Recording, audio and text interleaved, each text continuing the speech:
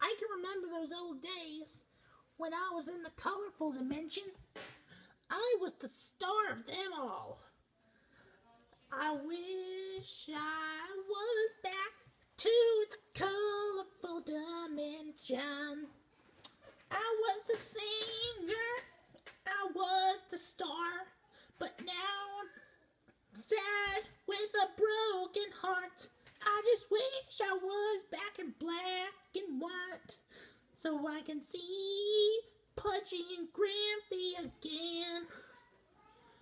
I didn't know how much it meant to you. It means a lot to me when I was black and white. Those were the days when I